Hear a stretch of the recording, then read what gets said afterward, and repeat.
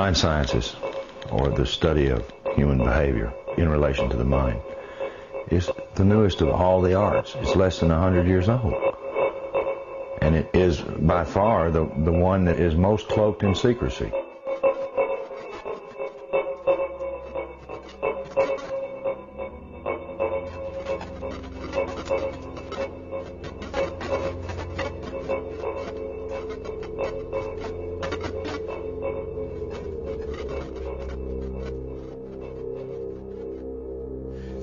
Origins of psychological warfare uh, were in Nazi Germany, and in the Nazi ideology, they had something that was called Weltanschauungskrieg, which means worldview warfare. The idea for them was imposing the Nazi worldview on the countries that they had occupied. The Americans picked up this idea, created an American version of it, and called that psychological warfare.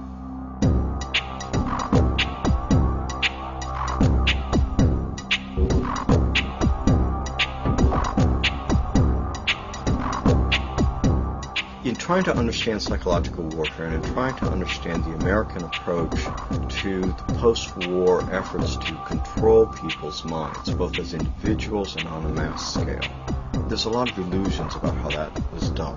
Were Nazis involved in that process? Yes, they were. Project Paperclip was a United States government sanctioned CIA operation for the importation of Nazi and fascist scientists into the United States.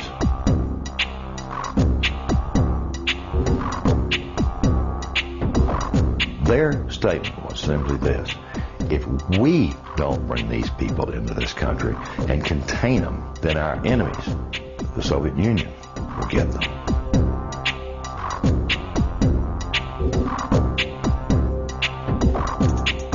First wave was to bring these scientists. There was 700 odd propulsion scientists, and then there were some 600 and some odd mind sciences people that they brought in.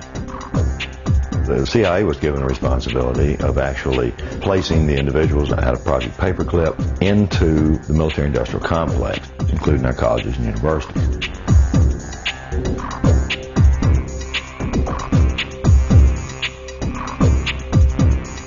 Mind control was a psychological warfare weapon that Adolf Hitler regarded as the answer for taking over the entire planet.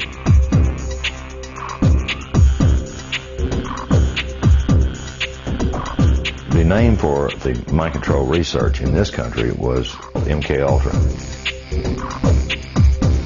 MK Ultra was one program of a series of programs that came out of the CIA to experiment with different types of mind control using drugs, using electroshock, using insulin shock, and, and other techniques.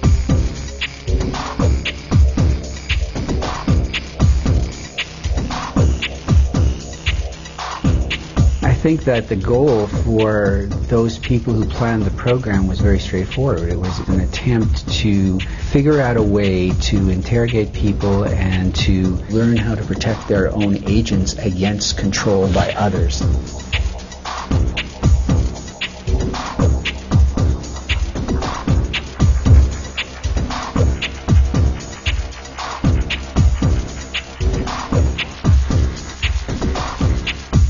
If you put someone in a position of being disabled by not feeding them or not allowing them to sleep or overwhelming them with sound, if you use massive shock treatment and you give people massive doses of drugs such as PCP or mescaline or amphetamines or LSD, and if you put them in periods of darkness where they can't predict from one minute to another what is going to happen next, so they're always dreading, there's no consistency to sort of what's going to happen, anybody can be put in a position of being open to brainwashing.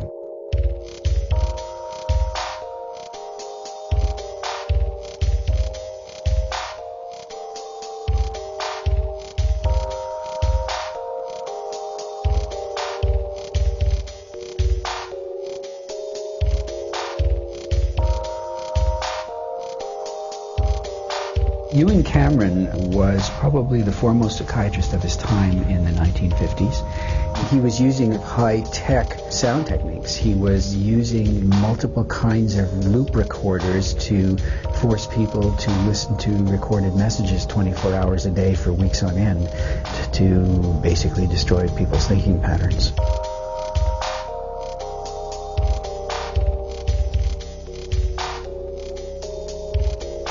He injected the lysergic acid into the vein and he patted me on the shoulder and said, Now there, lassie, we'll see you later.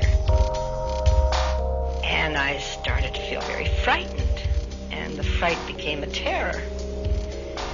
And I sort of began throwing myself from one side of the room to the other.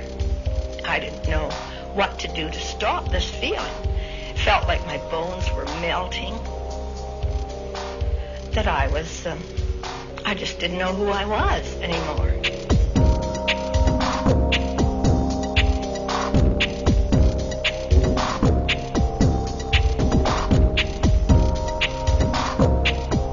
Not just uh, break-ins at people's homes. It's not just invasions of privacy by illegal wiretapping. This is uh, an invasion of a person's mind. And uh, that is about as uh, profound uh, an injury, uh, except for loss of life, that the government can impose.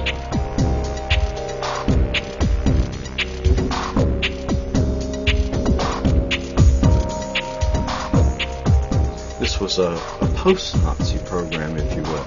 It was a uh, an Americanization. I've often made the statement, and I still make it flippantly. The Nazis didn't lose the war. They just had to move. Now it's 50 years later.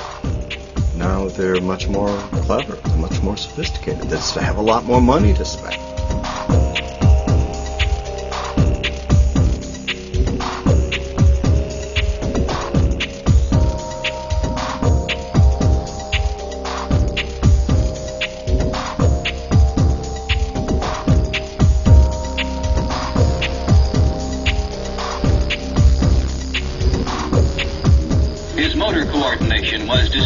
Because of the compound's effect.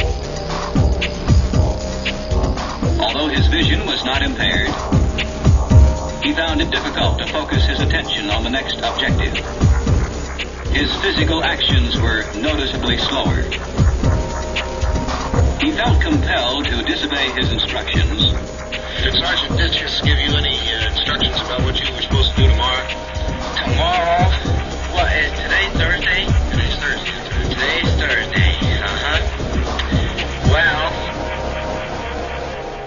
Wars are not won on the battlefield. They're won in the minds of the people.